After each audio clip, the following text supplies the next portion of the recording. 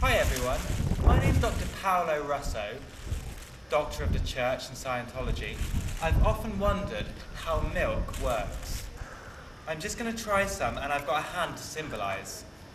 We've got some lights and I'm going to be leaving this here for up to four hours. Now what I'm going to do, just give the milk a shake, I'm going to slowly pour it in and we'll see what happens.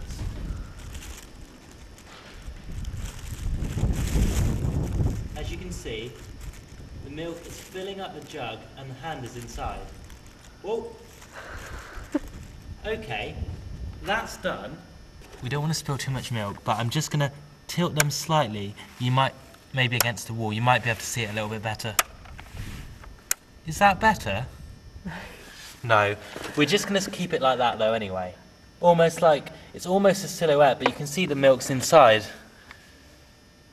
What we're going to do, four hours time, or maybe four and a half, I'm going to come back and we'll see what's happened.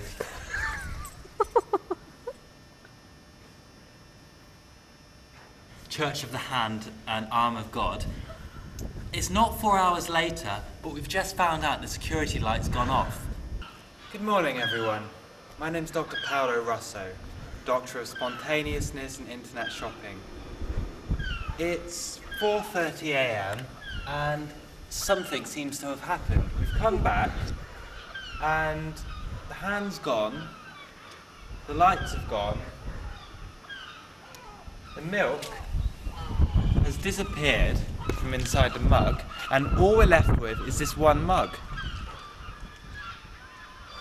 I don't know what's happened. Must be how milk works.